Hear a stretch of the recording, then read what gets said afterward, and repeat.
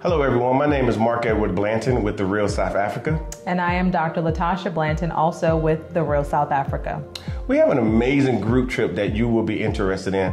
It's with the African Diaspora News Channel. A great YouTube channel gives you great information about what's going on in Africa.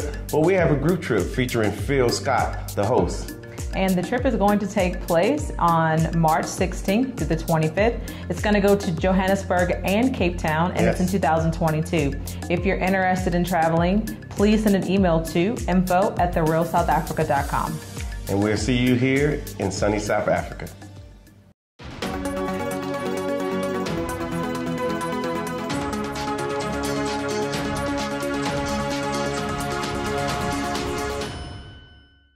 Hello fam, welcome back to the African Diaspora News Channel. I am Wongel Zelalem bringing you this report.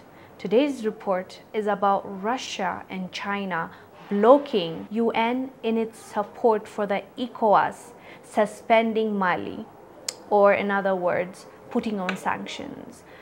I, this, this, this right here is telling us a lot let me tell you which countries supported ECOWAS in the sanctions that they put on Mali.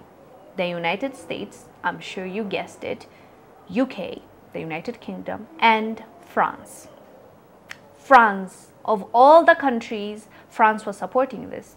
I mean, it's not shocking to us because we've been talking about this over and over and over again. France was telling us how much they're angry at Mali for Malians kicking them out of their country and I understand the reasoning behind you know this sanction is because the junta, the military junta, refused to leave power. They said um, even though they were supposed to have the election next month, they have pushed it to 2026 five years from now. So obviously, um, this is not right as well. Even Malians deserve a civilian government, but at the same time, how is this helping anyone by ECOWAS putting sanctions on Mali, on their neighboring countries? And ECOWAS, as you know, is made up of Nigeria, um, Ghana, um, Guinea-Bissau, Guinea, Mali, Togo. Like these countries are neighboring countries. There are African countries. And instead of just pushing for a civilian government and helping Malians,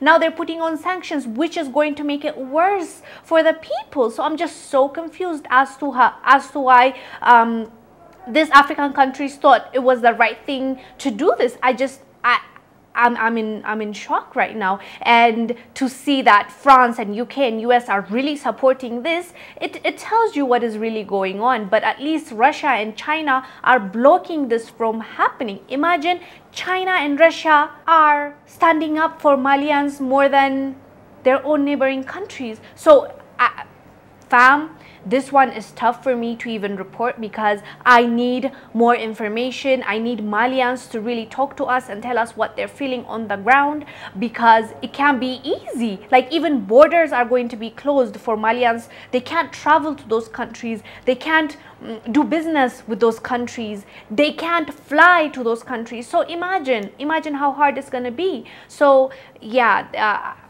I just, I am really saddened by this. But let us know down below what your thoughts are and what you think is best for Malians right now. I am Wongel Zelalem bringing you this report. I'll see you on the next one. Bye.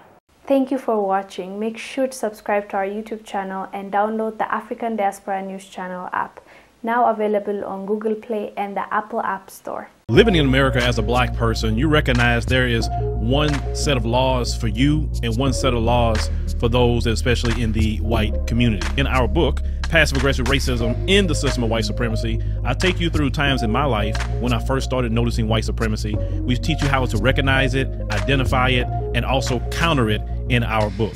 This book is a beginner's course for those that are just starting to wake up and open their eyes to see the system of white supremacy. As a black American person, you must understand this system because this system is life or death to you. How you handle it, how you deal with it, it can affect your mental health if you don't understand this system.